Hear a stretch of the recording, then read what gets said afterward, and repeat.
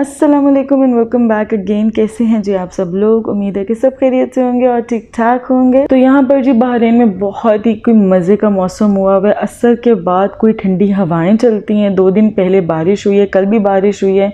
इतना मौसम कोई प्लेजेंट हुआ हुआ है ना कि शाम को निकलने का मज़ा आ जाता है। और यहाँ पर ना मैंने कुछ बच्चों के कपड़े समेट दिए हुए थे। और सिर्फ़ ये वाली शर्ट है जो मेरे सामने सामने रहती है। तो ईमान आ जाके यही वाली शर्ट पहन लेती, उसको जब ठंड लगती है तो मैं नोटिस कर रही तीन चार ब्लॉग्स में ईमान ने जो है, ये वाली शर्ट कंसिस्टेंटली पहनी है। खैर, यहाँ पर हम लोग आए थे जी लिटिल सीजर्स आए थे, यहाँ का पिज़्ज़ा बहुत मज़े का होता है मैंने आप लोग को पहले भी बताया था। अच्छा यहाँ पर ये क्लिप डालने का मकसद मेरा ये है कि यहाँ पर बहुत सारी ऑफ़र्स आजकल लगी हुई हैं लाइक थर्सडे को बहुत अच्छी डील मिलती है और संडे वाले दिन। काफ़ी रीज़नेबल डील्स मिलती है जो कि हमने आज तक यूटिलाइज़ नहीं की, क्योंकि हम लोग जाते ही कभी ट्यूसडे को जाते हैं वेडनेसडे जाते हैं, हमारा वो डे बनता ही नहीं है, जिस दिन इनकी जो है वो कोई ऑफ़र होती है। जब जिशान को छुट्टी होती है या जब हमारा मूड होता है, हम निकल जाते हैं।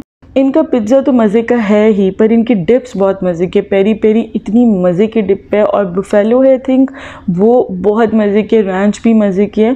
सो so, मुझे ये पिज़्ज़ा और डिप्स बहुत पसंद है इसलिए हम लोगों ने जब पिज़्ज़ा खाना होता है ना हम आते ही लिटिल सीजर्स हैं। और आगे रमज़ान होगा तो रमज़ान में भी मेरे ख्याल में काफ़ी ज़्यादा इनकी ऑफ़र्स होंगे। कल सिशन खड़े इनसे पूछ तो रहे थे तो वो कह रही थी रमज़ान में वो अपडेट करेंगे मज़ीद ऑफ़र्स ना। और यहाँ पर जी मेरा सुबह का आगाज़ बहुत ही आज थका हुआ था क्योंकि मैं कपड़े समेट समेट के ना बहुत थक गई हूँ। हालाँकि रोज़ मेरे घर मशीन लगती है, रोज़ाना बिला नागा लगती है बट स्टिल कपड़े ख़त्म होने का नाम नहीं ले रहे। चीज़ रह जाती है। कितने दिनों से कपड़े धुल रहे हैं और दो दो तीन तीन टाइम मशीन लग रही है और मैं सीरियसली फेडअप हो गई इतने कपड़े धोने वाले हो जाते हैं, अरे उन्हें क्या मसला है? और कुछ सर्दियों के समेटने हैं, चादरें वगैरह वॉश करनी थी क्योंकि रमज़ान है तो मैं चाह रही इस तरह के सारे काम पहले पहले हो जाएँ। इसके अलावा टेबल पे मैस चेक करें। मैं जितना मुझे समेट के सोऊँगी ना, बच्चों ने बहुत मैस करना पर ये खैर इनकी वजह से मैस नहीं है। ये आन की सारी वर्कशीट्स हैं, और ईमान की और कुछ कॉपीज़ हैं, जिसकी वजह से ये मैसी हुआ हुआ मैं फ़ाइल्स लेकर आई हूँ, बस इन चीज़ों को मैंने सॉर्ट करना है। ये ज़रा मुलाहजा फरमाए। ये तो मैं समेट रही हूँ।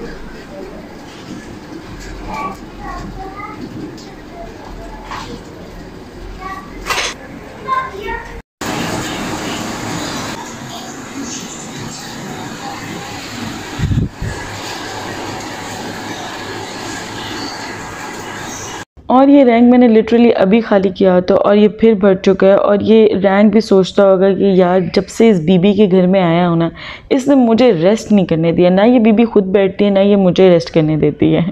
और यहाँ पे मैंने अभिया को सुला दिया था सो मैंने जो है वो कर्टन आगे कर दिए थे ताकि बिल्कुल भी जो है सनलाइट ज़्यादा अंदर नहीं है अभिया की बहुत कच्ची नींद है। और यहाँ पर जी मज़ीद मज़ीद मज़ीद laundry and laundry and laundry. तो यहाँ पर जी एक और पोल लगना था, सो मैं वो लगा रही थी। फिर मैं आ गई थी किचन में। मैं बनाने लगी थी यहाँ पर बहुत ही मज़े की फ्राइड फ़िश जिशान लेकर आए थे, किंग फ़िश है शायद वो लेकर आए थे, बहुत मज़े की बनती है। तो उसके लिए यहाँ पर मैं मसाला प्रिपेयर कर रही हूँ। और ये मसाला जी ऑलमोस्ट टू के जी फ़िश है जो मैं यहाँ पर जिसको मैं मसाला लगाऊँगी। यहाँ पे मैंने टू टीस्पून डाले हैं रेड चिली पाउडर डाले हैं। टू टीस्पून ही मैंने इसके अंदर डाले हैं जो रेड चिली फ्लेक्स डाली हैं। वन टीस्पून मैंने इसके अंदर टर्मरिक पाउडर ऐड किया है, यानी हल्दी का पाउडर और अब इसके अंदर जी मैंने ज़ीरा powder one and half teaspoon किया है। सूखा धनिया का पाउडर यहाँ पे one and half tablespoon गया है। और अब मैं इसके अंदर डाल रही हूँ जी गार्लिक पाउडर वन टीस्पून और जो तकरीबन हाफ़ टी स्पून मैं इसके अंदर ऐड करूँगी, अजवैन ऐड करूँगी। अजवैन को ज़रा ध्यान से आपने ऐड करना होता है ज़्यादा डल जाए तो ये कड़वी कर देती है फ़िश को, और अगर कम डले तो फिर जायका नहीं मिलता। और यहाँ पर जी मैं सॉल्ट ऐड करी हूँ, तकरीबन यहाँ पे मैंने ऐड किए हैं जी थ्री टीस्पून मैंने यहाँ पे सॉल्ट ऐड किए हैं, और इन सारी स्पाइसेस को मैं मिक्स कर दूँगी। कितनी सिंपल स्पाइसेस हैं।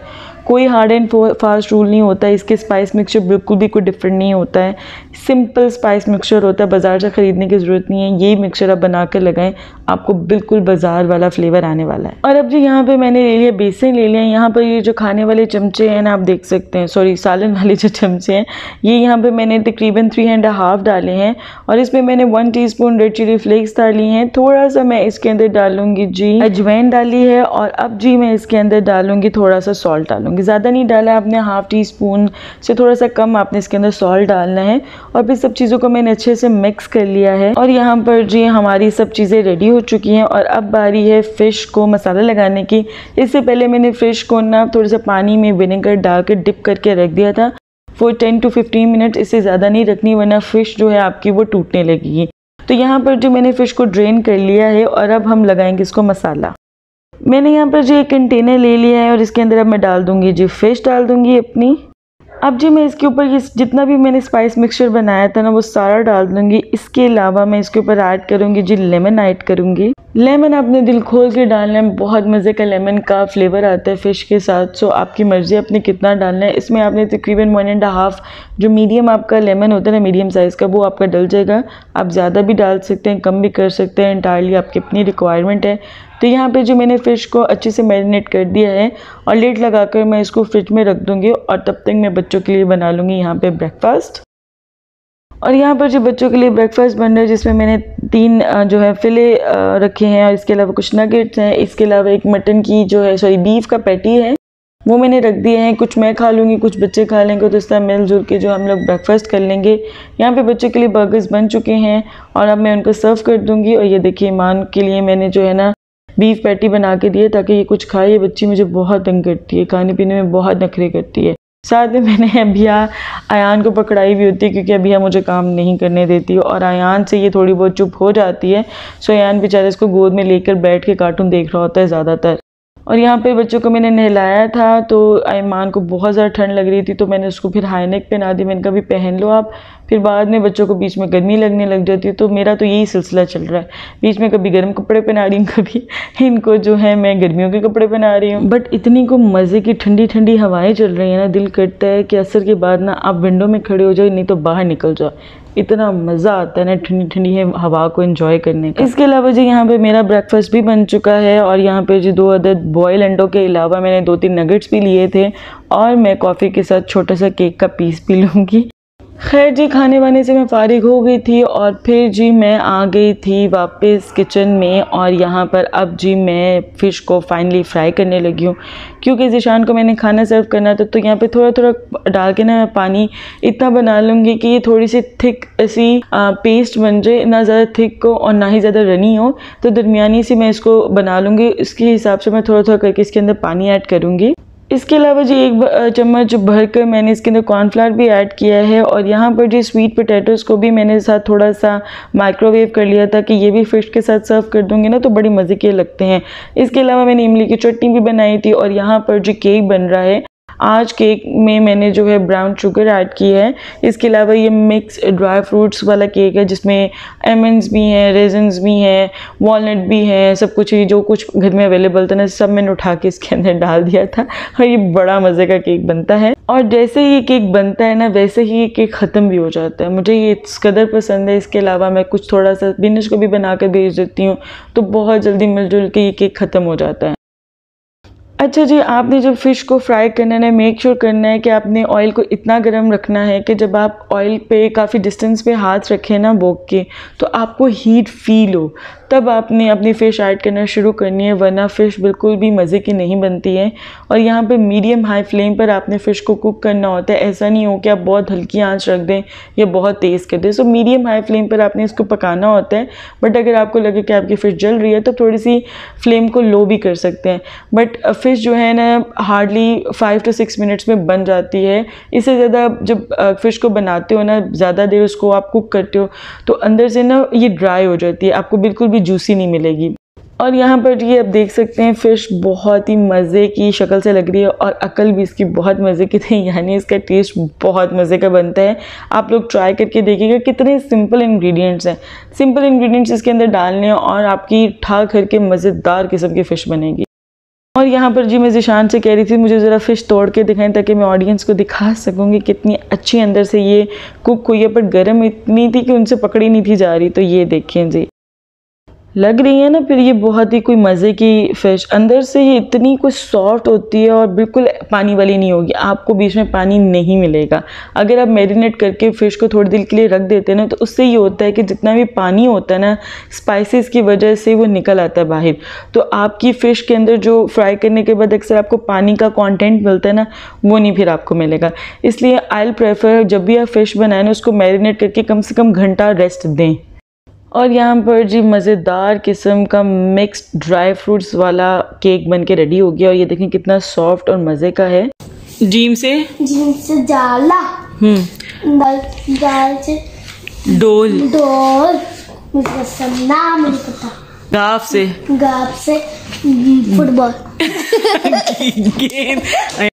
और यहाँ पर जो मैं आयान को तैयारी करा रही हूँ, क्योंकि आयान का टेस्ट है तो जल्दी से मैंने उसको साथ साथ तैयारी भी करा लेती हूँ और इसको इतनी मुश्किल हो रही थी ना। हालाँकि माशाल्लाह इसको उर्दू मैंने बिल्कुल अच्छे से अलिफ से लेके ये तक कराया हुआ है।